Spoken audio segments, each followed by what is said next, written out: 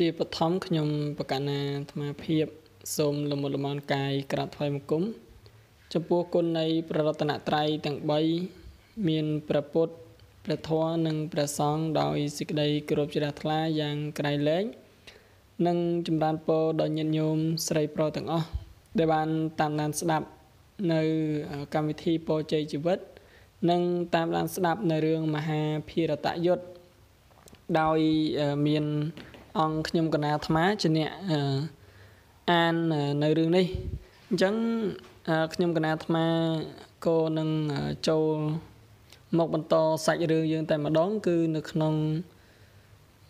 ទំព័រ1161ដោយនៅក្នុងនេះគឺនិយាយអំពីចម្ពោះដែល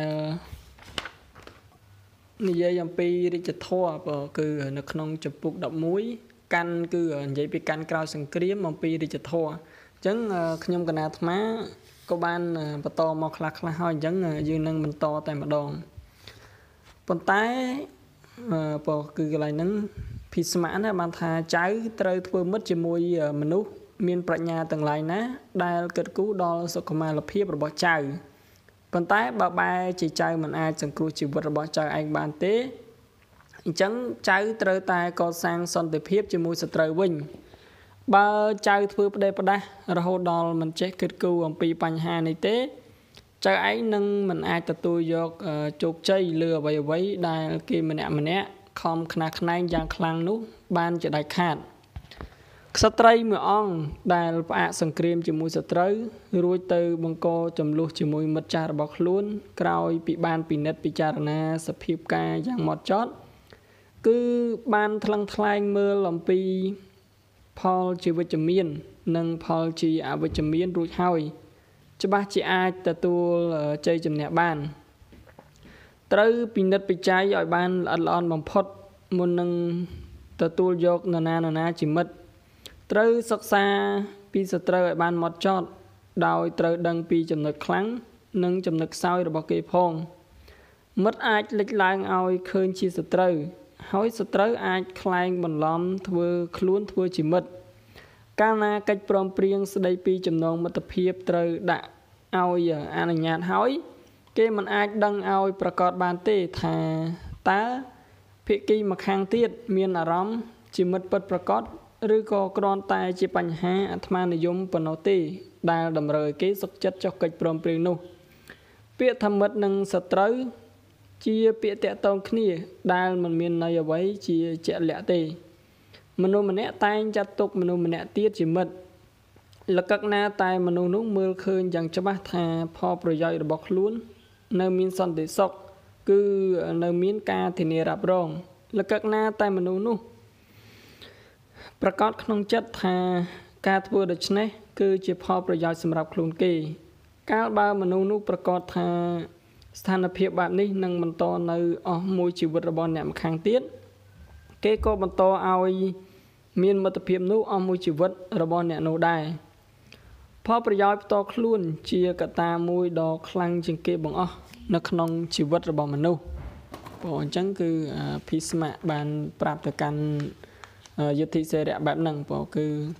មាននៃការថា ផលប្រយោជន៍ផ្ទាល់ខ្លួនជាកត្តាមួយដ៏ខ្លាំងជាងគេបង្អស់នៅ ក្នុងជីវិតរបស់មនុស្សម្នាក់ម្នាក់ព្រោះចឹងសកលលោកទាំងមូលតែងវិលវងព្រោះជុំវិញកត្តាតែមួយនេះប៉ុណ្ណោះហើយវានឹងចេះតែវិលដូចនេះជារៀងរហូត តែកាលណាមានការតាក់ទិននឹងផលប្រយោជន៍ហើយមនុស្សមិនដែលមើលមុខគ្នាត្រង់ទេ គេមិនអាចរកឃើញសេចក្តីស្នេហាពិតប្រាកដទៀតទេ កាលណាមនុស្សម្នាក់ម្នាក់មានមូលហេតុតាក់ទិននឹងប្រយោជន៍ផ្ទាល់ខ្លួន មនុស្សម្នាក់មានប្រជាប្រិយពីព្រោះគេជាអ្នកមានចិត្តសប្បុរស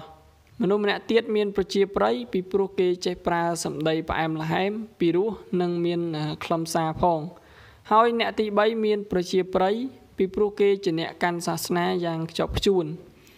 ជាទូទៅគឺក្បួនតម្រា តែមិនមែនជាករណីពិសេសអ្វីមួយទេ ដែលធ្វើឲ្យមនុស្សម្នាក់បាន ទៅជាទីស្រឡាញ់ចូលចិត្តនៃមនុស្សទាំងពួងពលគឺដោយសារតែគោលបំណងដែលមនុស្សនោះបំរើ មិនមែនអ្វីក្រៅពីនេះទេ មិត្តភាពនឹងត្រូវចប់ភ្លាម នៅពេលណាដែលគេលែងមានមូលហេតុនៃមិត្តភាពមនុស្សមានប្រាជ្ញាវាងវៃម្នាក់គួរតែដឹងថាតើពេលណាគេត្រូវបង្កើតសន្តិភាពជាមួយសត្រូវ ចូលចៅចាំថាកាលណាមនុស្សពីរនាក់ដែល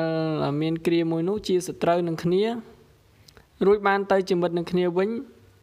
គឺជាការប្រកាសណាស់ហើយដែលថាម្នាក់ម្នាក់កំពុងរងចាំឱកាសល្អដើម្បីឆក់យកសភាពការប្រសើរពីគ្នាទៅវិញទៅមកបងរវាងអ្នកទាំងពីរនេះ បើអ្នកណាឆ្លាតជាង អ្នកនោះត្រូវតែបានទទួលជោគជ័យ ឯគោលនយោបាយស្ថិតនៅត្រង់ថាបើចៅឯងមិនទុកចិត្តមនុស្សម្នាក់ទៀតនោះទេ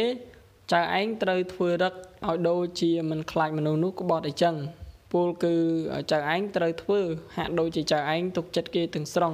ប៉ុន្តែតាមពិតចៅឯងគ្មានទុកចិត្តគេបន្តិចណាសោះនៅគ្រប់ពេលទាំងអស់កាលណាពេលវេលាតម្រូវឲ្យធ្វើចៅត្រូវកសាងសន្តិភាពជាមួយសត្រូវហើយនៅក្នុងកាលានុវត្តភាព ណាមួយដ៏រស់រានចៅឯងត្រូវតែបង្កសង្គ្រាមជាមួយសត្រូវវិញក្បួនច្បាប់នេះក៏ត្រូវអនុវត្តជាមួយមនីមនុស្សម្នាជាមិត្តផងដែរហើយយុទ្ធិសេរីក៏សួរបន្តទៀតណាថាសូមព្រះអាយកោប្រាប់ទូលព្រះបង្គំតើអ្វីជាប្រភពនៃបាបកម្ម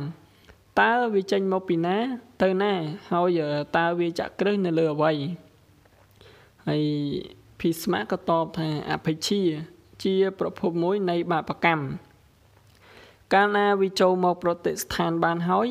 វាមុខជាកំតិចកិត្តិយសនិងសេចក្តីល្អទន្លេនៃបាបកម្មមានប្រភពចេញមកពីអភិជា ហើយបាបកម្មជាច្រើនតែងហូរចេញមកពីប្រភពមួយនេះ គេអាចចាត់ទុកអភិជាដូចជានិទាខរដូវជាអចិន្ត្រៃយ៍នៃសេចក្តីឆ្លាតខាងខូចនិងការលាក់ពុទ្ធបុត្រ កំហឹងកើតឡើងពីអភិជាហើយតណ្ហាក៏កើតឡើងពីអភិជាព្រមទាំងជំងឺសតិអារម្មណ៍គួរឲ្យខ្លាចជាច្រើន ប្រការទៀតក៏កើតចេញពីអភិជាដែរដូចជាបាត់បង់ការវិនិច្ឆ័យតូចចិត្តអំនួតប្រហើនក្រអឺតក្រតមមោទនភាពព្យាបាទចងគំនុំឥតអៀនខ្មាស់បាត់បង់គុណធម៌លួចបន្លំថប់បារម្ភ សេចក្តីច្រឡំខាម និងទុរយុះអកុសលទាំងអស់នេះជាកូនចៅមួយក្នុងចំណោមកូនចៅជាច្រើនទៀតរបស់អភិជាបងតែនឹងប្រាប់ចៅឯងអំពីឈ្មោះជំងឺទាំងនេះខ្លះទៀតដូចតទៅនេះមច្ឆរិយៈឬសេចក្តីកំណាញ់លោភលន់លួយកាក់ប្រាថ្នាលើអរិយាបទមិនសមរម្យអួតអំពីពូចម្បោអួតអំពីការរៀនសូត្រ អួតអំពីសម្ផស្សអួតអំពីទ្រព្យសម្បត្តិគ្មានមេត្តាធម៌ប្រើអំណាច ធ្វើទុកបុកម្នេញមិនស្មោះត្រង់យកទ្រព្យសម្បត្តិគេ ប្រើសម្ដីអសុរោះទូលពិតនិយាយមួយបង្កាច់លមោបស៊ីស្នេហាមនុស្សអាក្រក់ស្រឡាញ់អំពើទុច្ចរិតគ្រប់បែបយ៉ាង ក្នុងមួយជីវិតរបស់ខ្លួនមនុស្សម្នាក់ម្នាក់មិនអាចបោះបង់ចោលអបិជានេះបានសោះឡើយ ជីវិតអាចពុកផុយបានប៉ុន្តែអំណាចនៃអបិជាមិនអាចចុះខ្សោយបានទេ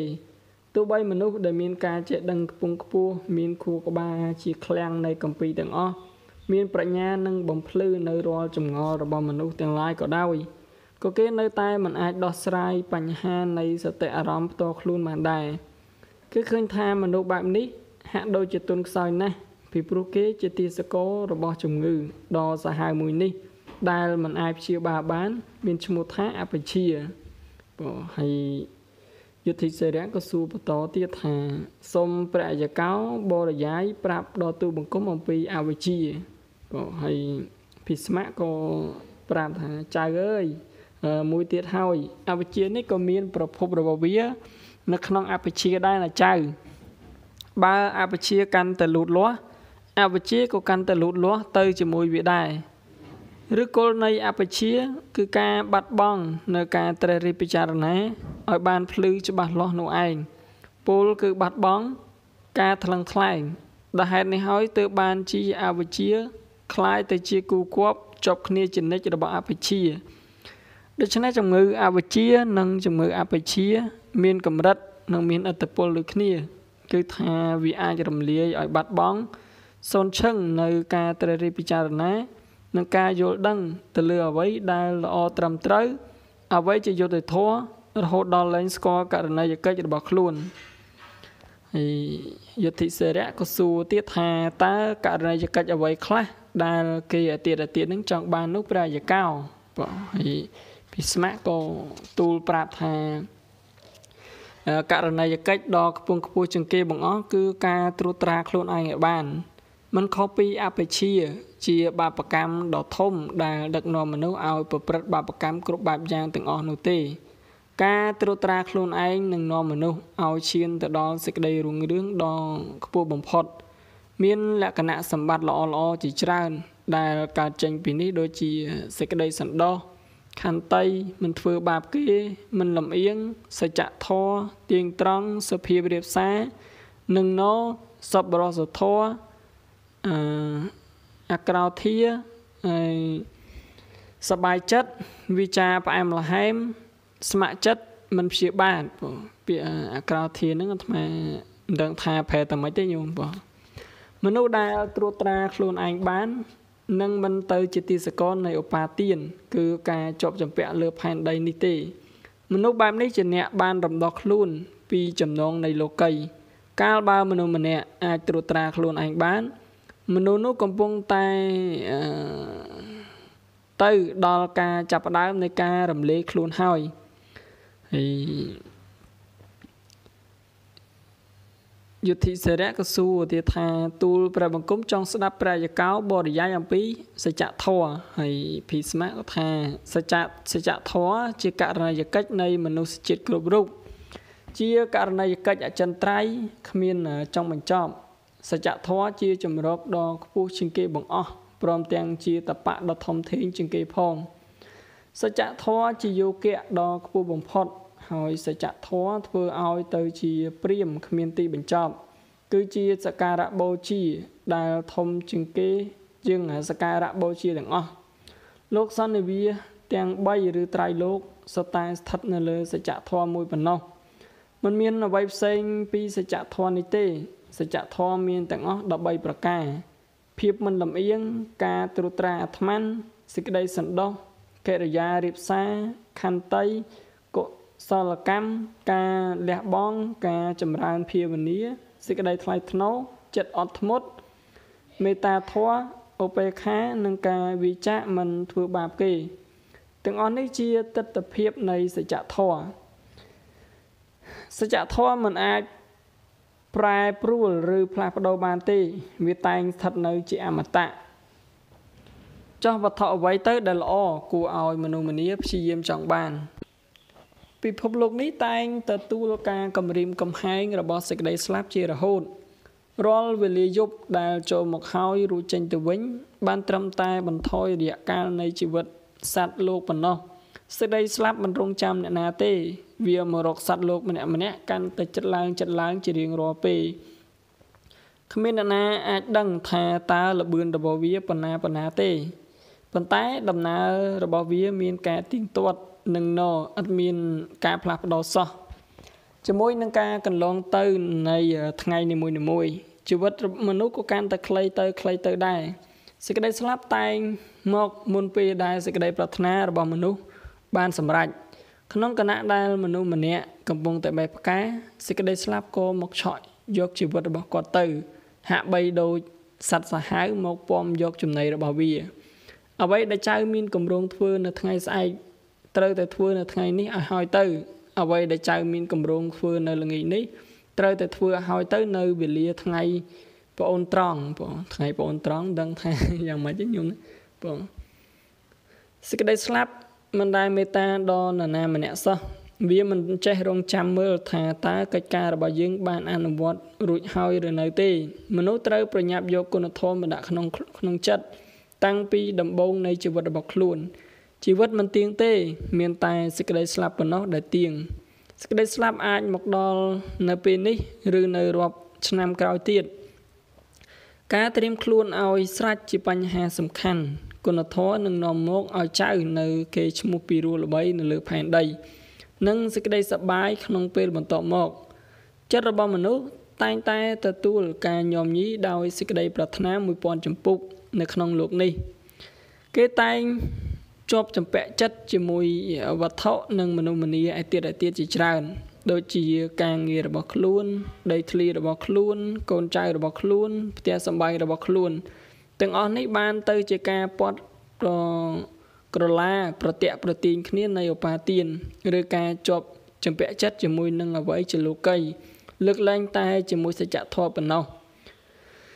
ការស្គាល់តម្លៃពិតនៃវត្ថុទាំងឡាយធ្វើឲ្យមនុស្សម្នាក់យល់ច្បាស់នៅការប្រែប្រួលនៃវត្ថុទាំងឡាយនៅលើសកលលោកហើយចំពោះមនុស្សបែបនេះសេចក្តីស្លាប់មិនមានធ្វើគេខ្លាចរអាទេសច្ចធម៌គឺជាអមតៈ គឺជាធម៌អមតៈនៅក្នុងក្នុងខ្លួនមនុស្សតែមួយ គេអាចឃើញមានពន្លកនៃសេចក្តីស្លាប់ព្រមទាំងពន្លកនៃអមតៈភាពផងដែរទាំងពីរនេះដែលថាចៅរក្សាមួយណាទុកមួយមួយណាទុកនោះបងអាស្រ័យលើចៅទេ ការជាប់ចំណងលោកីអាចកើតឡើងបានយ៉ាងងាយនរណាក៏ដោយ តែមានការងាយស្រួលណាស់ជាមួយនឹងការបណ្ដោះឲ្យកើតមានការជាប់ចម្ពាក់ចិត្ត ដែលមិនមែនអ្វីក្រៅពីឈ្មោះផ្សេងមួយទៀតសម្រាប់សេចក្តីស្លាប់នោះប៉ុណ្ណោះប៉ុន្តែមនុស្សមានកតេបណ្ឌិត តែងត្រួតត្រាវិញ្ញាណរបស់ខ្លួនបាន គេតែងអណ្ដែតត្រសែតឡើងដល់កម្ពស់មួយដែលតណ្ហានិងកំហឹងមិនអាចឈោងដល់គេតែងដឹងច្បាស់ថាតើគេត្រូវកាន់ចិត្តដូចម្ដេច ដើម្បីញ៉ាំងអារម្មណ៍របស់គេឲ្យឃើញថាសេចក្តីរីករាយនិងការជឿចាប់មានតម្លៃដូចគ្នាបើគេធ្វើបានដូច្នេះទើបគេអាចរកសេចក្តីស្ងប់ឃើញរួចនឹងឈានទៅដល់អមតភាពពាក្យពេចន៍ការត្រេះរិះការលះបង់និងយុគៈរបស់គេស្ថិតនៅក្នុងភាពជាអមតៈដោយពួកព្រាមហើយគេនឹងគេចផុតពីសេចក្តីស្លាប់ ភ្នែករបស់អ្នកចេះដឹង ជាភ្នែកដែលគួរឲ្យស្រឡាញ់ជាទីបំផុតសច្ចធម៌ជាការធ្វើតបៈដែលទទួលភាពឧត្តមឧត្តមបំផុត ការជាប់ចម្ពាក់ចិត្តជាមួយសេចក្តីទុក្ខព្រួយ គឺជាករណីមួយគួរឲ្យខ្លាចជាទីបំផុត ការលះបង់ជាប្រភពនៃសុភមង្គលដ៏ធំធេងជាងគេ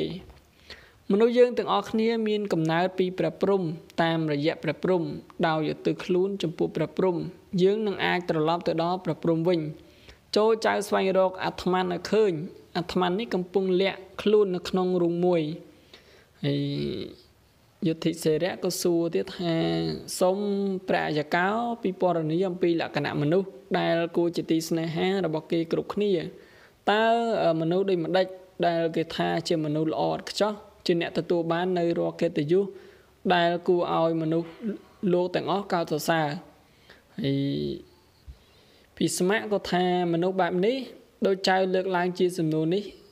ជាអ្នកប្រាជ្ញរិទ្ធបណ្ឌិតដែលបានរៀនសូត្រចេះដឹងដ៏ច្រើនគេជាមនុស្សល្អសពបែបយ៉ាង ហើយជាអ្នកមានជំនឿសុបលើសាសនាឈាមជ័ររបស់គេមិនអាចរួលរៀលឬប្រឡាក់ប្រឡោះជាមួយនឹងមោទនភាពបានជាដាច់ខាត សេចក្តីទោមនស្សនិងកំហឹងមិនអាចកើតឡើងក្នុងចិត្តរបស់គេបានទេវិញ្ញាណរបស់គេមិនអាចដឹកនាំគេឲ្យវង្វេងសងទេ ហើយគេនឹងទទួលបាននៅសេចក្តីស្ងប់ចិត្តជានិច្ចដែលកើតចេញពីការសម្រេចបាននៅសច្ចធម៌ដ៏កំពូលហើយអ្វីដែលធ្វើឲ្យមនុស្សទៅជាជនទុច្ចរិតហើយអ្វីធ្វើឲ្យគេទៅជាជនប្រកបដោយគុណធម៌អ្វីជួយឲ្យមនុស្សអាចសម្រេចការលះបង់បាន តើគេអាចរំដោះខ្លួនដោយមិនដេចបានហើយភីស្មាក៏តបទៀតថាតណ្ហាឬសេចក្តីប្រាថ្នាចង់បានជាអ្នកទទួលខុសត្រូវចំពោះបាបកម្មឬការធ្វើឲ្យមនុស្សទៅជាជនទុច្ចរិតកាលណាសេចក្តីប្រាថ្នាមើលឃើញគោលដៅអ្វីមួយរបស់វិញ្ញាណវាក៏ស្វែងរកគោលដៅនោះ ដើម្បីឲ្យបានវត្ថុអ្វីដែលខ្លួនត្រូវការមនុស្សតែងខិតខំអស់ពីសមត្ថភាពដើម្បីឲ្យបានវត្ថុនោះ កម្មវត្ថុទាំងឡាយរបស់វិញ្ញាណតែងលេចឡើងគួរឲ្យពេញចិត្តរហូតដល់ធ្វើឲ្យមនុស្សខំខ្នះខ្នែងយកកម្មវត្ថុទាំងនោះឲ្យបានមក ការជាប់ចម្ពាក់របស់ចិត្តកើតឡើងបន្ទាប់ពីសេចក្តីប្រាថ្នាចង់បាន ហើយភ្លាមភ្លាមនោះក៏មានការកើតឡើងនៃសេចក្តីស្អប់ខ្ពើមសេចក្តីលោភលន់និងការយល់ខុស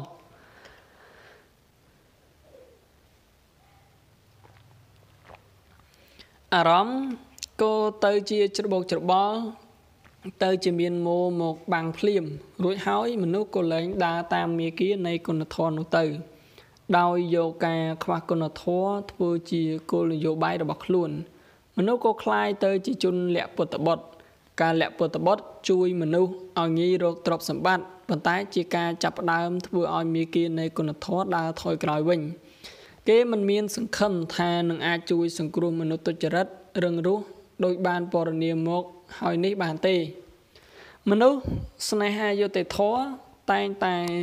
ស្វែងរកសេចក្តីល្អរបស់អ្នកឯទៀតឯទៀតហើយក្នុងករណីនេះមនុស្សនោះក៏ទទួលបាននៅសេចក្តីល្អសម្រាប់ខ្លួន គេត្រូវបានទៅជាបណ្ឌិតហើយគេអាចដឹងថាតើគេត្រូវជាវៀងកុំឲ្យធ្លាក់ចូលទៅក្នុងគ្រោះថ្នាក់របស់វិញ្ញាណនោះយ៉ាងដូចម្ដេចគេនឹងបានទៅជាបណ្ឌិតពិតប្រកបក្នុងន័យនៃសេចក្តីសប្បាយនិងសេចក្តីទុក្ខមនុស្សដែលអាចត្រួតត្រាវិញ្ញាណរបស់ខ្លួនឯងបាន ជាមនុស្សប្រកបដោយគុណធម៌ប៉ុន្តែបានត្រឹមតែប៉ុណ្ណេះនៅមិនទាន់គ្រប់គ្រាន់ទេ គឺគេត្រូវតែឈានទៅឲ្យដល់ការលះបង់ឲ្យបានថែមទៀតផង។ មានតែវិជាប៉ុណ្ណោះទេដែលអាចជួយមនុស្សឲ្យរំដោះខ្លួនចេញពីតណ្ហាបាន នៅទីបំផុតដោយមើលឃើញយ៉ាងច្បាស់ថាពិភពលោកនេះគ្រាន់តែជាការឆ្លងកាត់នៃឆាកសម្ដែងដ៏អកថាមួយប៉ុណ្ណោះហើយថាឆាកសម្ដែងនេះនឹងត្រូវទទួលសេចក្តីវិនិច្ឆ័យនៅពេលណាមួយនោះមនុស្សលោកក៏ខំព្យាយាមទទួលយកនៅគុណធម៌និងរង្វាន់នៃគុណធម៌ នៅក្នុងរូបភាពជាឋានសួគ៌និងសេចក្តីរីករាយហើយក៏ខិតខំឈានទៅរកការរំដោះខ្លួនឲ្យបានហើយយុទ្ធិសេរីក៏សួរទៀតថាតើមានគេតនៈផលអ្វីខ្លះដែលចាំបាច់សម្រាប់មនុស្សម្នាក់ម្នាក់កាលបើមនុស្សនោះចង់ឲ្យខ្លួនគេ បានរួចផុតពីសេចក្តីប្រាថ្នាហើយឈានទៅដល់ការរំដោះខ្លួនភីស្មៈក៏តប ថាមនុស្សដែលគួរដល់ការរំដោះខ្លួនតែបានឆ្លងកាត់ហួសផុតទៅយ៉ាងឆ្ងាយពីពិភពនៃវិញ្ញាណទាំងអស់ការស្រេចទឹកនិងការឃ្លានអាហារមិនធ្វើឲ្យគេមានកង្វល់ទេ ហើយក៏មិនមានវេទនាអារម្មណ៍អ្វីជាមួយនឹងស្ថានភាពឯទៀតឯទៀតនៃសារពាង្គកាយដែរអារម្មណ៍របស់គេមិនមានការទទួលការរំខានដោយកំហឹងសេចក្តីលោភលន់និងការខុសឆ្គងទេ ទោះបីគេកាន់អរិយាបថជាជនព្រើលម្ដងម្កាក៏ដោយក៏គេមិនចេះភ្លេចខ្លួនជាដាច់ខាតមនុស្សបែបនេះតែងមើលឃើញខ្ទមសង់ពីឫស្សីនិងត្រែងដូចគ្នានឹងព្រះរាជវាំងរបស់មហាក្សត្រីសេចក្តីរីករាយនឹងការឈឺចាប់ក្នុងចិត្ត មិនមានប៉ះពាល់ដល់អារម្មណ៍របស់គេទេ ពីព្រោះថាគេមានសម្បញ្ញៈពេញលេញជាមួយនឹងជីវិតរបស់គេ នៅក្នុងការបំផន់នៃវិញ្ញាណល្អចំពោះមនុស្សបែបនេះ ពិភពលោកគ្រាន់តែជាលទ្ធផលនៃសារធាតុដើមទាំង5រួមបញ្ចូលគ្នាប៉ុណ្ណោះការពិតនេះតែងមានវត្តមាននៅក្នុងអារម្មណ៍គេជានិច្ចកាលណាគេសម្លឹងមើលទៅសកលលោករីករាយនឹងទុកសោកចំណេញនឹងខាត ជោគជ័យនិងបរាជ័យគឺដូចគ្នាទាំងអស់នៅក្នុងចក្ខុន្ទ្រយារម្មណ៍របស់គេសេចក្តីខ្លាចមិនកើតមាន ក្នុងខ្លួនគេទេ ហើយក៏មិនមានការថប់បារម្ភនៅក្នុងចិត្តរបស់គេដែរគេដឹងយ៉ាងជាក់ច្បាស់ណាស់ថាមហាក្សត្រីមួយអង្គទៅមួយអង្គទៀតតែមានអំណាច មានសេចក្តីអង្អាចដ៏ធំធេងនៅលើលោកនេះ ក្នុងរយៈពេលបន្តិចណាមួយប៉ុណ្ណោះរួចហើយក៏ទ្រង់សោយព្រះទីវង្គតទៅ អ្វីៗទាំងអស់នៅក្នុងលោកនេះសុទ្ធតែជាអន្តរកាលនេះឯងជាសច្ចភាពដំបងមកអស់ដែលគេតែងមើលឃើញយ៉ាងច្បាស់បទពិសោធន៍អំពីសកលលោកនិងការយល់ដឹងពិតប្រាកដបានលេចឡើងឲ្យឃើញនៅក្នុងខ្លួនមនុស្សនៅការពិតអំពីសកលលោក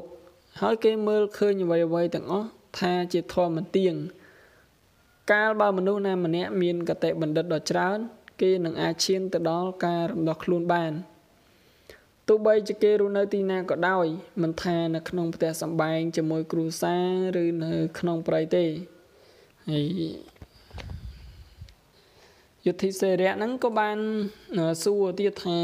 សេចក្តីអភិប្រាយរបស់ព្រះអាយកោតើឲ្យទូលព្រះបង្គំចាប់អារម្មណ៍ខ្លាំងណាស់បងគឺធ្វើឲ្យទូលព្រះបង្គំចាប់អារម្មណ៍ខ្លាំងណាស់ចុះបើគេមិនបោះបង់ចោលផ្ទះសម្បែងនិងគ្រួសារ ឬមិនទទួលយកជីវិតនៅក្នុងប្រៃផងទេតើមនុស្សអាចឈានទៅដល់ការរំដោះខ្លួនដោយមិនដេចបានដែរបងអញ្ចឹងគឺសួរបែបហ្នឹងទៅកាន់ភីស្មាហើយភីស្មាក៏ថាដើម្បីឈានឲ្យដល់ការរំដោះខ្លួន មហាក្សត្រីមិនចាំបាច់បោះបង់ចោលផែនដីរបស់ខ្លួនទេ ចៅត្រូវរំដោះខ្លួនឲ្យរួចផុតពីការជាប់ចម្ពាក់ចិត្តទាំងអស់ បើចៅមិនលុះនៅក្នុងការជាប់ចម្ពាក់ចិត្តដោយប្រការណាមួយទេ ហើយអាចបដោតការរិះគិតទាំងអស់ទៅលើព្រះព្រំដ៏ជាអមតៈនោះចៅអាចរំដោះខ្លួនបាន ការលះបង់ជាកតាកលឹះសម្រាប់មេគានេះនឹងជាមធ្យោបាយដ៏ខ្ពង់ខ្ពស់បំផុតការលះបង់តែងលេចឡើងនៅទីណាដែលមានវិជាជាអ្នកដឹកនាំចិត្តវិជាតែងដឹកនាំចិត្តសំដៅទៅរកយោគៈ ហើយតាមរយៈយោគៈមនុស្សតែងឈានទៅដល់ស្ថានភាពជាព្រាមមនុស្សដែលរស់នៅជាក្រហមប្រកាសជាអាចឈានទៅដល់ការរំដោះខ្លួនបានបើគេបានទទួលការយល់ឃើញ ថាសេចក្តីស្លាប់និងការនៅមានជីវិត វាដូចគ្នានឹងសញ្ញាស័យគឺអ្នកនៅក្នុងដំណាក់កាលទី4នៃជីវិតព្រាមហើយតើទេវតានឹងរក្សាសេចក្តីរុងរឿងនោះ ព្រះអង្គស្ថិតនៅទីណាបងគឺសួរថាទេវតាដែលរក្សាសេចក្តីរុងរឿងណាតើទេវតានឹងស្ថិតនៅទីណាដែរហើយភិសមៈក៏តបថាមនុស្សមាន សំនួនវោហារល្អមនុស្សសកម្មមនុស្សមកចត់ជានិច្ចកាលគឺជាចម្រោកនៃសេចក្តីរុងរឿងកាលបើអារម្មណ៍បានរួចផុតពីក្រោតហើយ គេអាចត្រួតត្រាតណ្ហាបាន មនុស្សបែបនេះជាអ្នកមានអារម្មណ៍ខ្ពង់ខ្ពស់ណាស់មនុស្សណាដែលមានស្មារតីទន់ខ្សោយខ្វះការទុកចិត្តលើខ្លួនឯងនិងមានអារម្មណ៍ពោពេញដោយក្រោតសេចក្តីរុងរឿងមិនអាចកើតមានឡើងជាមួយមនុស្សនោះបានទេពួកព្រាមដែលឧទ្ទិសខ្លួនចំពោះការសិក្សាគម្ពីរវេទពួកក្សត្រីដែលឧទ្ទិសខ្លួនចំពោះសេចក្តីយុត្តិធម៌ពួកវេសៈដែលឧទ្ទិសខ្លួនចំពោះការដាំដុះនិងពួកសូត្រៈដែលអឺ មានការទៅខ្លួននៅក្នុងចិត្តបុគ្គលទាំងអស់នេះសុទ្ធតែជាទីអាស្រ័យនៃនៅនៃទេវតាដែលរក្សាសេចក្តីរុងរឿងតើអ្វីខ្លះជាករណីយកិច្ចរបស់មនុស្សម្នាក់ដែលមានសង្ឃឹមថាខ្លួនគេនឹងបានឆ្លងកាត់សកលលោកនេះដោយរីករាយនិងមានសង្ឃឹមថាខ្លួនគេនឹងឈានទៅដល់ប្រាក់លោកគឺលោកខាងមុខណាពីស្មាក់ក៏តបថាអំពើ3យ៉ាងរបស់សារពាង្គកាយ គឺការវិចារនៅការកាប់សម្លាប់ជីវិតសត្វលោកនេះមួយ ការវិចារនៅការលួចទ្រព្យគេនេះមួយ ការវិចារនៅការសេពកាមតាមផ្លូវខុសដូចជាលួចប្រពន្ធគេនេះមួយអឺត្រូវតែជៀសវាងឲ្យបាន បើមនុស្សណាម្នាក់ប្រាថ្នាចង់បាននៅអ្វីអ្វីដោយចៅលើកឡើងអំបញ្ញមិញនេះគេត្រូវជៀសវាងឲ្យបាននៅអំពើ4យ៉ាងនៃការនិយាយស្ដីគឺសម្ដីទុច្ចរិតការផ្សព្វផ្សាយជំនឿខុស សម្ដីអសុរោះនិងការនិយាយផភូត គេត្រូវវិចារពីអារម្មណ៍3យ៉ាង គឺការសម្លឹងឃើញទ្រព្យសម្បត្តិរបស់គេ ការព្យាបាទគេ និងការបោះបង់ជំនឿលើបទបញ្ញត្តិនៃកម្ពីវេទបើអំពើទាំង10យ៉ាងនេះត្រូវមនុស្សណាវិចារបានហើយមនុស្សនោះប្រកាសជាអាចឆ្លងកាត់សកលលោកនេះបានយ៉ាងរីករាយដើម្បីឈ្មោះទៅកាន់ប្រាក់លោក យុទ្ធិសេរៈក៏បានសួរទៀតថាតើមានអ្វីខ្ពស់ជាងការអនុវត្តនៅព្រមីចារឬទេបងព្រះយកោទូព្រះបង្គំក៏ចង់ដឹងផងដែរអំពីសញ្ញាខ្ពស់បំផុតនៃគុណធម៌និងប្រការខ្ពស់បំផុតនៃសេចក្តីបរិសុទ្ធហើយភិស្មៈក៏ថាការតមមិនសេពសារា និងមិនបរិភោគសាច់ជាព្រមចារដ៏សែនខ្ពង់ខ្ពស់ណាស់ទៅហើយណាចៅ សញ្ញាដែលប្រសើរបំប្រសើរបំផុតនៃគុណធម៌គឺយុត្តិធម៌នេះឯងហើយវាក៏ជាប្រការដ៏ខ្ពង់ខ្ពស់បំផុតនៃភាពបរិសុទ្ធផងដែរនៅពេលណាដែលគេគូអនុវត្តព្រះធម្មៈបងតើនៅពេលណាទើបគេរកឃើញអដ្ឋៈបងហើយនៅពេលណាដែលទៅដែលកាមៈនឹងអណ្ដែតខ្លួនចូលមកភិស្មៈក៏ថាផ្នែកទី1នៃជីវិតរបស់មនុស្សម្នាក់ម្នាក់ គឺជាពេលវេលា ដែលគេត្រូវរកទ្រព្យសម្បត្តិចូល គឺនៅពេលនោះហើយដែលយុត្តិធម៌ត្រូវអនុវត្តហើយការត្រេកត្រអាជាមួយនឹងសេចក្តីរីករាយត្រូវចូលមកជាក្រោយករណីទាំងអស់នេះត្រូវប្រព្រឹត្តទៅជាមួយនឹងការប្រតិបត្តិជាពិសេសដែរថាគេមិនត្រូវភ្ជាប់ខ្លួនទៅនឹងករណីណាមួយទេចុងបញ្ចប់នឹងទិសដៅរបស់គេគឺមកស័កឬការរួចរំដោះ បងតើអឺតៃរដ្ឋារបៀបម៉េចដែលជាសេចក្តីបរិសុទ្ធដ៏ឧត្តមបំផុតព្រះយកោគេមិនត្រូវមានការសង្ស័យអ្វីទេដែលថាតើពាក្យហ្នឹងខ្ញុំកណាអាត្មារៀងប្រវាអានដោយអឺមិនដឹងថាអានបែបម៉េចដែលត្រឹមត្រូវណាព្រោះវាមានអសតដាក់ស្អីហើយថហើយរៈ ររជុសញ្ញាហើយនឹងស្អាអញ្ចឹងខ្ញុំកណាអាត្មាអានថាតៃរដ្ឋាទាំងអស់សោះបងតៃរដ្ឋាទាំងអស់អាចធ្វើឲ្យមនុស្សបរិសុទ្ធបានប៉ុន្តែតៃរដ្ឋាប្រសើរបំផុតដែលអាចធ្វើឲ្យមនុស្សបានបរិសុទ្ធគឺសច្ចធម៌គេគួរតែងូតទឹកជំរះខ្លួននៅក្នុងតៃរដ្ឋាហៅថាអារម្មណ៍ដែលគេមិនអាចស្ទង់ជំរឿបាន ហើយដែលមិនអាចមានស្នាមប្រឡាក់អ្វីទាំងអស់ គឺវាស្អាតបរិសុទ្ធតៃរដ្ឋានេះមានសច្ចធម៌ជាទឹករបស់ខ្លួន និងជាបឹងនៃអារម្មណ៍ដែលកើតឡើងពីការយល់ជ្រួតជ្រាប កាលណាមនុស្សបានងូតទឹកនៅក្នុងតៃរដ្ឋានេះគេនឹងទៅជាអ្នកទទួលមរតកនៃសេចក្តីស្មោះសរភាពរៀបសារសច្ចធម៌មេត្តាធម៌ការត្រួតត្រាចិត្តនិងសេចក្តីស្ងប់ក្នុងចិត្តបង ហើយយុទ្ធិសេរៈហ្នឹងក៏សួរបន្តទៀតថាតើនរណាជាមិត្តពិតប្រកបរបស់មនុស្សឪពុករបស់គេម្ដាយរបស់គេឬកូនរបស់គេ ឬគ្រូបាស្ជ័យរបស់គេ ឬសម្លាញ់របស់គេនោះតែម្ដង កាលណាមនុស្សស្លាប់ទៅខ្លួនប្រានមនុស្សនោះនឹងត្រូវគេបោះបង់ចោលហាក់បីដូចជាកំណាត់ឈើមួយដុំឬដូចជាដុំដីមួយដុំព្រះយកោតើអ្នកណាជាសម្លាញ់ ដែលត្រូវទៅតាមមនុស្សនៅឯបរលោកនេះនោះភីស្មាក៏ថាមនុស្សកើតមកដោយខ្លួនឯងហើយស្លាប់ទៅវិញដោយខ្លួនឯងគេមកកាន់ផែនដីដ៏ល្អប្រណិតនេះតែម្នាក់ឯងហើយគេត្រូវលាចាក់លោកនេះទៅវិញតែម្នាក់ឯងគឺមិនគេមិនមានគូកូនណាម្នាក់នៅក្នុងដំណើរឆ្លងកាត់ឧបតហេតុរបស់ខ្លួនគេ ដែលហៅថាជីវិតនោះទេជនទាំងអស់ដែលចៅលើកឡើងអំបញ្ញមិញគឺមានមេដា បៃតាបុត្រធីតាញាតិវង្សសម្លាញ់និងគ្រូបាស្ជ័យតែងតែបែរក្រោយឲ្យខ្នងមកចៅវិញ កាលណាចៅសោយព្រះទីមង្គតទៅ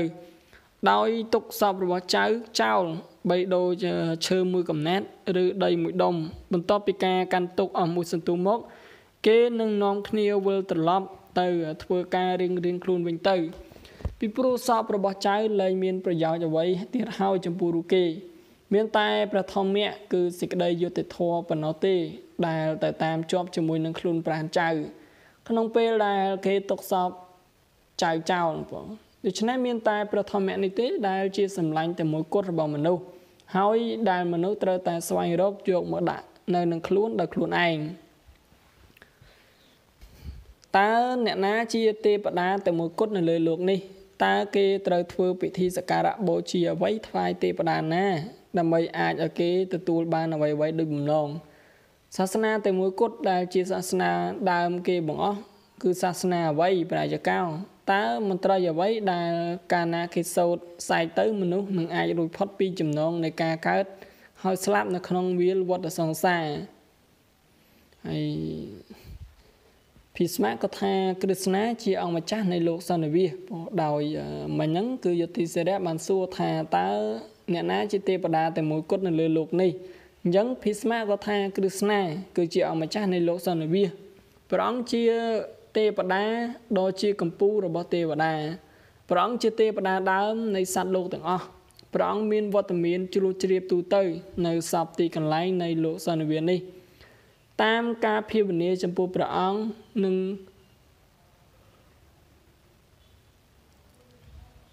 និងចំពោះព្រះនាម ដ៏ច្រើនរបស់ព្រះអង្គមនុស្សម្នានឹងអាចឆ្លងផុតពីសេចក្តីទុក្ខព្រួយមេសាសនាដើមនៃសាសនាទាំងអស់គឺព្រះគ្រិស្នាព្រះអង្គជាធម្មពលដ៏ខ្លាំងបំផុតព្រះអង្គជាតបៈដ៏ខ្ពង់ខ្ពស់បំផុតព្រះអង្គជាចម្រោកដ៏ខ្ពង់ខ្ពស់បំផុតព្រះអង្គជាទីសក្ការៈដ៏ខ្ពង់ខ្ពស់ជាងគេព្រះអង្គជាអ្នកចាប់ផ្ដើមនៃរាល់ការបង្កើតឡើង និងជាចុងបញ្ចប់នៃរាល់ការបង្កើតឡើងគ្រិស្នាជា ព្រហ្មញ្ញដែលមានជីវិតជាអមតៈចូលចៅជឿជាក់លើព្រះអង្គហើយខំគោរពប្រណិប័តព្រះអង្គចៅនឹងទៅជាបុគ្គលម្នាក់ដែលនៅជាប់ជាមួយព្រះអង្គគឺព្រះគ្រីស្ទណាដែលជាទេវតានៃអតីតកាល បច្ចុប្បន្នកាលនិងអនាគតកាលឬជាប្រលឹងដ៏ឧត្តមលុះថ្ងៃសិក្សាបានកន្លងផុតទៅនឹងភីស្មាក៏មានបន្ទូលថា ចៅអើយតាបានបង្រៀនចៅនៅអ្វីអ្វីដែលចៅចង់ចេះចង់ដឹងនោះរួចរាល់សពគ្រប់ហើយចូលចៅត្រឡប់ទៅនគររបស់ចៅវិញ ហើយចាប់ផ្ដើមរៀបចំចាត់ចែងកិច្ចរាជការផែនដីឲ្យបានសម្រេចជោគជ័យចោះប្រជានុរាស្ត្ររបស់ចៅនឹងបានរីករាយសប្បាយក្រោមបុណ្យបារមីរបស់ចៅ ដោយក្នុងរាជការដែលប្របាទនហោសាប្របាទ ហរិសន្ទ្រៈនិងប្របាទយយាតិ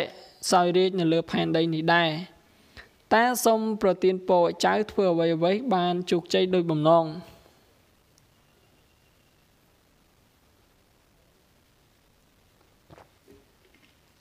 ទៅចោះចៅហើយត្រឡប់មករកតាវិញកាលណាដល់រដូវឧត្តរយានតាកំពុងតែរងចាំរដូវនេះតានឹងបានឃើញមុខចៅម្ដងទៀតបង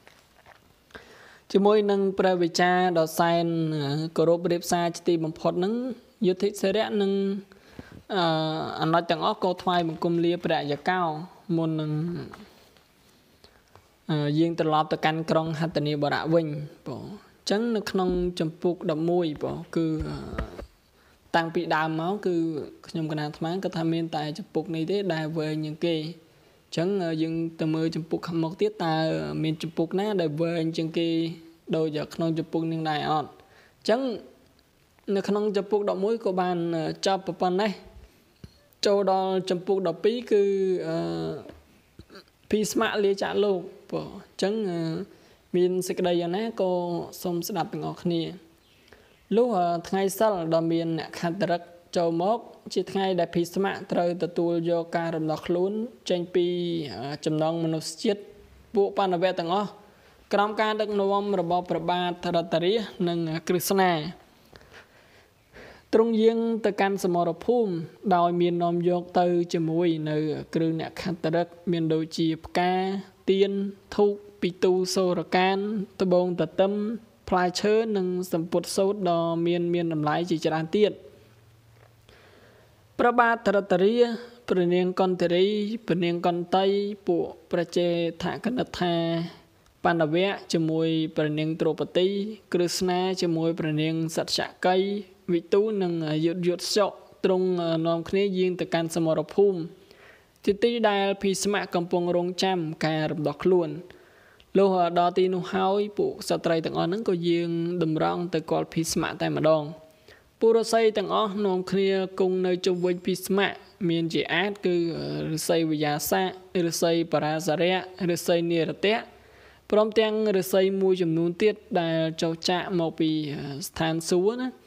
យុតិសរៈក៏ទ្រង់លុតព្រះចង្គង់បងលើកប្រកបប្រណំរួចក៏ក្រាបថ្វាយបង្គំប្រាយកោទាំងទូលព្រះអង្គថាប្រាយកោ ទូលព្រះបង្គំគឺយុទ្ធិសិរៈជាបណ្ឌវៈទូលព្រះបង្គំមកទីនេះ ជាមួយបងប្អូននិងប្រញាតវង្សសានវង្សទាំងអស់ជាទីស្នេហារបស់ព្រះអង្គ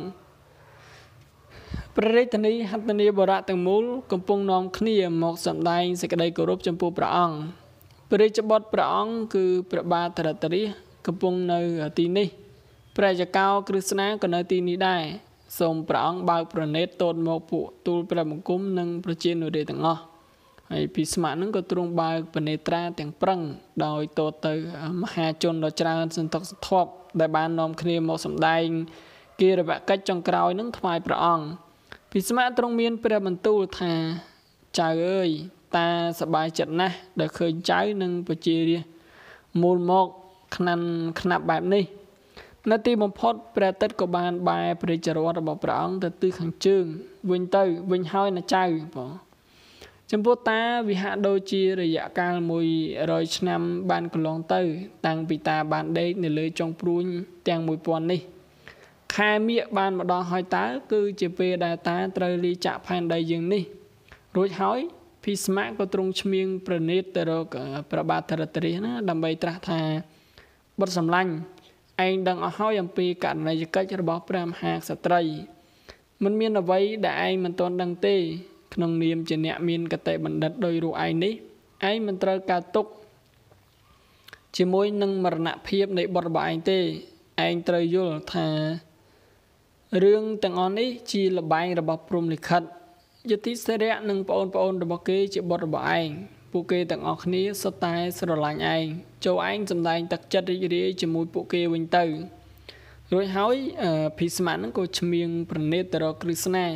ដោយព្រះអង្គសូមឲ្យគេ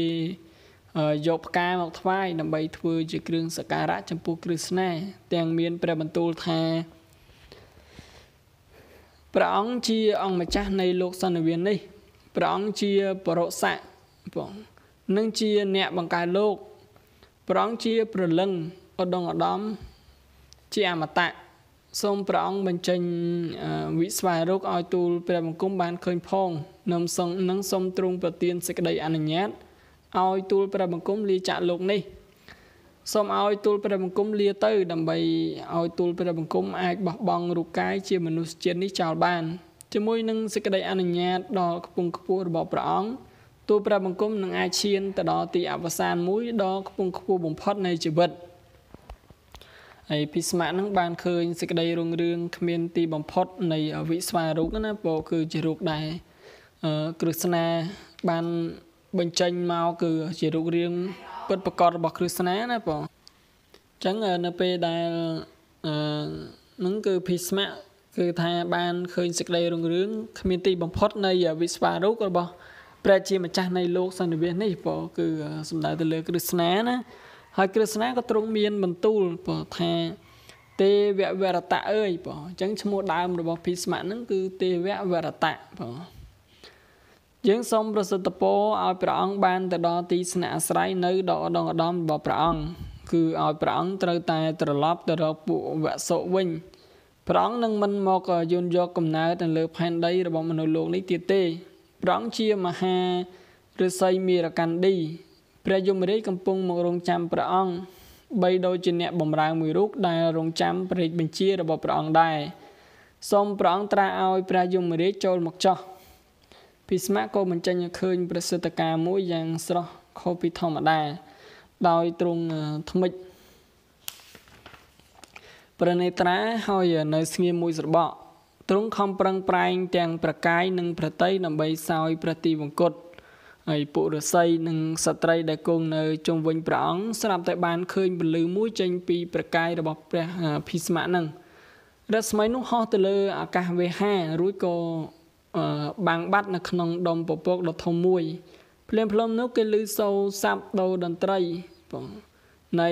ស្ថានសួគ៌ប្រគំយ៉ាងពីរោះពីពេញមេឃទាំងអស់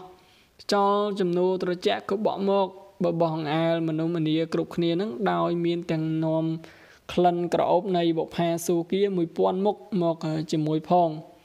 ផែនដីទាំងមូលក៏ទទួលនៅភាពត្រជាក់ត្រជុំគួរឲ្យរីករាយជប៉ុនពេកមនុស្សម្នាគ្រប់គ្នាកើតមានអារម្មណ៍ជាសុខមួយដ៏សែនចម្លែកក្នុងគណៈដែលព្រះវិញ្ញាណក្ខន្ធរបស់ភីស្មៈកំពុងតែបន្តដំណើរទៅកាន់ឋានសុគីគេនាំគ្នាលើកប្រសាភីស្មៈព្រមជាមួយនឹងព្រួញដាក់លើ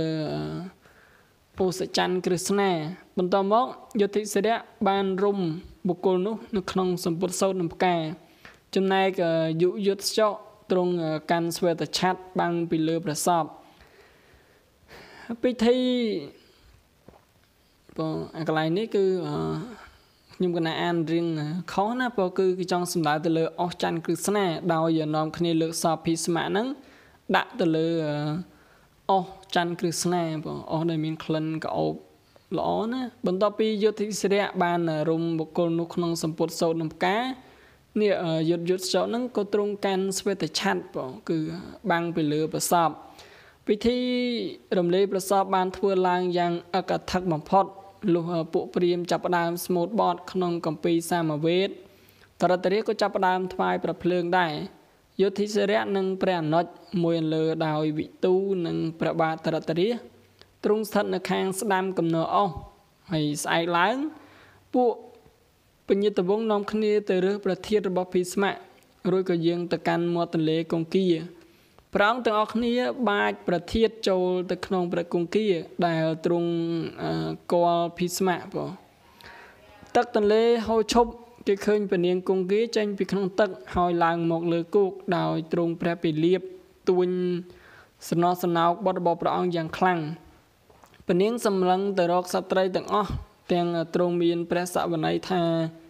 កូនខ្ញុំស្លាប់ហើយ វាជាកូនស្មោះត្រង់ម្នាក់ដែលគេឯងតែងស្រឡាញ់គ្រប់គ្នា ជាអ្នកមានជ័យជំនះជារហូតសម្បីតែព្រះមហាបរាសុរីមក៏ទទួលចោះចាញ់កូនខ្ញុំដែរ ស្រាប់តែវីរៈបរោះនេះត្រូវសក្ខណ្ឌីសម្លាប់នេះមកពីចិត្តខ្ញុំរបស់ខ្ញុំរឹងដូចថ្មបើគុំតែប៉ុណ្ណេះម្លេះសំខ្លួនខ្ញុំប្រេះទ្រូងស្លាប់ហើយមនុស្សដែលខ្លាំងពូកែរកអ្នកណាមកប្រៀបស្មើមិនបាន នៅក្នុងលោកនេះត្រូវគេសម្លាប់តលតែបាន ពីដើមខ្ញុំសង្ឃឹមថាកូនខ្ញុំនឹងបានគ្រប់គ្រងផែនដីនេះហើយទើបស្លាប់អោកូនមានម្ដាយអើយកូនកំសត់របស់ខ្ញុំអើយកូនស្លាប់ចោលម៉ែហើយ ទុកឲ្យម៉ែនៅសោយសោកឯក្រោយហើយគណៈដែលពនាងគង្គាកំពុងបន្តព្រះពិលៀបហ្នឹងសំណោះបុត្ររបស់ព្រះអង្គហ្នឹងបើ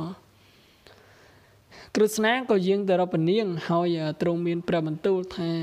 សូមកុំទ្រង់ព្រះពិលៀបអីអោប្រមេដានៃលោកអើយបុត្ររបស់ព្រះអង្គបានយាងទៅកាន់ភពមួយជារបស់ខ្លួន ព្រះមេដាជ្រាបដែរតើថាភិស្មៈជាព្រះវសុមួយអង្គដែលត្រូវទៅយោនយកកំណើតកើតមកហើយរស់នៅលើផែនដីនេះដោយសារតែព្រះអង្គត្រូវបណ្ដាសាភិស្មៈមិនមែនប្រសូតមកសម្រាប់ឲ្យដោយមនុស្សលោកឯទៀតឯទៀតទេ ហើយព្រះអង្គក៏មិនត្រូវគ្រប់គ្រងនគរដោយស្ត្រីធម្មតាដែរព្រះមេដាមិនត្រូវមានអ្វីដែលព្រះមេដាត្រូវការទុកឬស្រណោះសំណោកនោះទេ សូមព្រះមេដាទ្រង់រីករាយទៅវិញទៅដែលហេតុថានៅនាចុងក្រោយបំផុត ព្រះភិស្មៈត្រូវបានរួចរំដោះផុតអស់ពីវណ្ណាសាដែលតម្រូវឲ្យព្រះអង្គរស់នៅលើសកលលោក ជាឋានសម្រាប់មនុស្សលោកនេះហើយពនាងគង្គាក៏រលាយរូបបាត់ពីពនេតគេឯងគ្រប់គ្នាទៅ ហើយទឹកទន្លេក៏ចាប់ផ្ដើមហូរឡើងវិញ ទឹកនោះហូររឹមរឹមដោយការដែលព្រះអង្គចាប់ផ្ដើមហូរតាំងពីដំបូងនោះមកជាមួយនឹងសេចក្តីរីករាយលីនឹងសេចក្តីទុក្ខសោកពួកក្សត្រីនិងប្រជារាស្ត្រទាំងអស់ក៏នាំគ្នាវិលត្រឡប់ចូលក្នុងរាជធានីហត្ថនីបរៈវិញទៅបងអញ្ចឹងនៅក្នុងចម្ពោះ2គឺការសោយទីបង្គត់របស់ភីស្មៈហ្នឹងក៏បញ្ចប់ប៉ុណ្ណេះព្រោះដោយភីស្មៈកាលពីមុនគឺពនាមដើមព្រះអង្គគឺទេវវរតៈ ហើយជាបទរបស់ព្រះបាទសន្តនុនិងពនាងគង្គាព្រោះឬហៅថាគង្គាយាហ្នឹងអញ្ចឹងនៅក្នុងចម្ពោះនេះខ្ញុំកណាអាត្មាចប់ប៉ុណ្ណេះហើយនឹងបន្តចូលចម្ពោះ13តែម្ដងព្រោះគឺនិយាយអំពីគ្រឹស្ណាត្រឡប់ទៅទ្វីរកាព្រោះគឺជាទីក្រុងដែលគ្រឹស្ណារស់នៅណាព្រោះទោះបីព្រះអង្គខំពុះពៀបែបណាក៏ដោយ ក៏យុទ្ធិសេរៈមិនអាចបំភ្លេចរឿងអតីតកាលបានដែរក្នុងកាលដែលតរតរិះទ្រង់ផ្ដាំផ្ញើព្រះវិចារទៅព្រះអង្គតាមរយៈសេចក្ដីមុនសង្គ្រាមផ្ទុះឡើងនោះព្រះអង្គមានព្រះបន្ទូលថាយុទ្ធិសេរៈដែលជាអ្នកមានទឹកប្រតីដ៏ល្អតាំងពីកំណើតមកនឹងទទួលរងការស្ដាយក្រោយអស់មួយជីវិត ដោយសារការកំទេចពួកអាយកាមួយរបស់ព្រះអង្គបងអាយកាមួយហ្នឹងគឺបងប្អូនចតូនមួយបង ការមានបន្ទូលរបស់ព្រះអង្គនោះជាការពិតដែលធ្វើឲ្យពួកបណ្ឌវៈហ្នឹងមានអារម្មណ៍សោកស្ដាយយ៉ាងខ្លាំងដោយផ្លេចការឈឺចាប់របស់ព្រះអង្គតរតរាព្យាយាមលួងប្រតិយុទ្ធិសេរៈហើយគ្រឹស្ណាក៏ជួយជោគជួយជាវជាមួយព្រះមហាក្សត្រី នៅក្នុងការអង្វរកោនេះដែរ នៅទីបញ្ចប់យុទ្ធិសិរៈក៏អាចសម្របសម្រួលប្រតិរបស់ព្រះអង្គឲ្យមកនៅក្នុងភាពធម្មតាឡើងវិញព្រះអង្គក៏ចាប់ផ្ដើមអនុវត្តភារកិច្ចនៃការគ្រប់គ្រងនគរដោយប្រតិស្មោះសរធ្វើឲ្យមានការអបអរនិងសេចក្តីសរសើរព្រះអង្គថាទ្រង់ជាព្រះមហាក្សត្រប្រកបដោយឧត្តមគតិប្រជានុរាស្ត្រនិងនិមឺនសពមុខមន្ត្រីទាំងអស់ បានស្គាល់សេចក្តីសុខសប្បាយសេចក្តីចម្រើនរុងរឿងក្រមមលប់ដ៏ត្រជាក់ដែលកើតឡើងពីបុណ្យបារមីរបស់ព្រះអង្គប្រងទ្រង់បានទទួលសេចក្តីទុកចិត្តពីប្រជារាស្ត្រនិងនិមឺនទាំងអស់ដោយសារព្រមវិហារធម៌និងព្រះវិចារផ្អែមល្ហែមរបស់ព្រះអង្គអរជូននិងគ្រឹស្នា តែងចំណាយពេលត្រឡប់ទៅកាន់ទីកន្លែង ដែលព្រះអង្គតែងទ្រង់យាងក្រសាលលេងជាមួយគ្នាកាលពីពេលមុនមុនព្រះអង្គទ្រង់យាងទៅក្រុងឥន្ទ្រប្រស្ថៈហើយចំណាយពេលលេងនៅក្នុងទីនោះជាច្រើនថ្ងៃទ្រង់សពប្រតិយាងចុះច្របនៅក្នុងឧទ្យានហើយនឹងក្នុងបន្ទប់ធំធំនៃមហាសភាទ្រង់ពិភាក្សាគ្នាលេងពីនេះពីនោះជារឿងដ៏ច្រើនដែលបានកើតឡើង ចាប់តាំងពីព្រះអង្គប្រថាប់នៅទីនោះចុងក្រោយបង្អស់ទ្រង់ឃើញហាក់ដូចជាពេលវេលាមិនទាន់បានកន្លងទៅយូរទេ ចាប់តាំងពីព្រះអង្គបានឃ្លាតចាកចេញពីទីនោះមកគិនមកដល់ពេលនេះគឺកាលពី15ឆ្នាំមុន ដែលសម្លាញ់ទាំងពីរព្រះអង្គមកគង់នៅទីនេះជាមួយគ្នា កាល15ឆ្នាំមុននោះព្រៃខណ្ឌវៈត្រូវអគិភ័យឆេះកំតិចព្រោះព្រះអគិចង់ត្របាក់យកដើម្បីបំពេញសេចក្តីស្រេកឃ្លានរបស់ព្រះអង្គ ព្រះអង្គបានជួយសង្គ្រោះមយៈហើយមយៈនឹងក៏សូមធ្វើអ្វីមួយជាការតបស្នងសងគុណចំពោះព្រះអង្គគ្រឹស្ណាក៏សូមសូមឲ្យមយៈនឹងសង់ព្រះរាជសភាមួយដោយដាក់ឈ្មោះថាមយៈសភា បន្តមកនិរតៈរិស័យក៏និមន្តមក ហើយទ្រង់មានដីកាអំពីសេចក្តីត្រូវការធ្វើរាជសូយាបើតោត្រឡប់ថយក្រោយវិញ គឺព្រះអង្គកំពុងព្យាយាមស្រង់យកនៅឧបតហេតុនេះ សំខាន់សំខាន់ពលគឺទស្សនភាពជាច្រើនដែលបានបង្កើតឲ្យមានសោកនាដកម្មនេះឡើងការលេចឡើងនៃព្រះនាង ద్రౌ ពទីនៅលើឆាកនោះជាឈុតទី1ហើយការជួបគ្នារវាងគ្រឹស្នានិងពួកបណ្ឌវៈជាឈុតទី2ការនិមន្តមកដល់នៃនិរតៈរិស័យជាឈុតទី3យុទ្ធិសិរៈត្រូវខកប្រតិការបើទ្រង់ជ្រាបថាបិតាព្រះអង្គមិនគង់នៅក្នុងបរិសភារបស់ ព្រះអន្ទេ ពីព្រោះព្រះអង្គមិនបានប្រារព្ធពិធីរាជសូយានេះឯងជាការចាប់ផ្ដើមឡើងនៃការជឿចាប់ទាំងអស់នេះហើយការធ្វើគុតសិសុបាលជាឈុតបន្ទាប់ពីនោះគឺឈុតទី4នៃសោកនាតកម្មឯឈុតឯទៀតឯទៀតក៏ចេញមកសម្ដែងឲ្យឃើញជាបន្តបន្តគ្នា ភ្លាមភ្លាម ការលេងល្បែងបាសការភ្នាល់គ្នា ដោយសកលនិកទទួលយកជ័យជំនះរាល់ក្តារជាឈុតទី5ដែលបង្កឲ្យកើតមានឈុតបន្តនៅក្នុងព្រះរាជសភានោះឯងជាការចាប់ផ្ដើមនៃទីបញ្ចប់ឆាកនៅក្នុងព្រះរាជវាំងដែលពនាងទ្រោពទីត្រូវទូសាសនៈចាប់ប្រកេសានោះបានឈានទៅដល់បងគឺសោកនាតកម្មដែលទូសាសនៈបាន ចាប់អស់ទាញកេសារបស់ពនាងទ្រោពទីនៅក្នុងសភានោះជាឈុតក្នុងកម្រិតខ្ពស់បំផុតរឿងសោកនាតកម្មនោះបានឈានទៅដល់កម្ពុជានៃអារម្មណ៍រហូតដល់មានការតាំងសេចក្ដីប្រណិធានគ្រប់គ្រប់គ្នាឈុតក្រោយមកបង្ហាញឲ្យឃើញនឹងការចងពៀឆាកនៅក្នុងក្រុងទ្វារកាកាលដែលទុរយោធនិងអរជូនទៅសូមឲ្យគ្រឹស្ណាជួយជាឈុតទី6ឈុតដែលសម្រេចវាសនារបស់ពួកក្សត្រីទាំងអស់នោះ គឺក្នុងកាលដែលអរជូនជ្រើសរើសយកគ្រឹស្ណាជានិសារថីរបស់ព្រះអង្គការធ្វើសង្គ្រាមជាឈុតចុងក្រោយ ឬឈុតទី7រាល់កាល15 3ថ្ងៃនៃការធ្វើសង្គ្រាម ការពលីជីវិតរបស់ភីស្មៈត្រូណៈរតយានិងអភិមានយុគ្រាន់តែជាឆាកនៅក្នុងឈុតទី7ដែលជាឈុតធំជាងគេ សោកនាដកម្មបានបញ្ចប់ជាមួយនឹងការធ្វើគុតសកនិការធ្វើគុតទុរយោធជាវគ្គចុងក្រោយបញ្ចប់នៃរឿងហើយសោកនាដកម្មនេះស៊ីពេលអស់ជាច្រើនឆ្នាំប្រងអាចធ្វើការកត់សម្គាល់ដំណាក់កាលនីមួយៗតាមការរំលឹករឿងនេះដាក់បញ្ចូលក្នុងចក្ខុន្ទយារម្មណ៍ពេលនេះឯងទើបព្រះអង្គទ្រង់ជ្រាបថាសោកនាដកម្មនោះជាព្រឹត្តិការណ៍ដ៏សាហាវគួរឲ្យស្រាវឆ្អឹងខ្នង នឹងឡើងព្រឹសក្បាលសម្ពងប៉ុន្តែពេលនេះព្រះអង្គបានទទួលសេចក្តីសុខពេញលេញឆ្លងរួចផុតពីការឈឺចាប់ ដែលបានចូលមកត្របាក់ហាដតីព្រះអង្គកាលពីប្រមាណខែមុននេះក្រឹស្ណាក៏ទ្រង់មានព្រះបន្ទូលថាអរជូនសង្គ្រាមបានកន្លងផុតហើយសត្រូវរបស់ព្រះអង្គក៏ខ្សែប្រជជនអស់ដែរបងអញ្ចឹងខ្ញុំកណាអាត្មាក៏នឹងបញ្ចប់ ត្រឹមប៉ុណ្ណេះសិនហើយនឹងបន្តនៅក្នុងឈុតក្រោយៗទៀតបងអញ្ចឹងគឺរឿងមហាភារតៈរបស់យើងនឹងចិត្តដល់ទីបញ្ចប់ហើយគ្រាន់តែនៅប្រហែលជា3ភាគទៀតអញ្ចឹងជាចុងក្រោយខ្ញុំកណាអាមាភិបក៏សូមក្រាបថ្វាយបង្គំលានិងចម្រើនពរលា thank you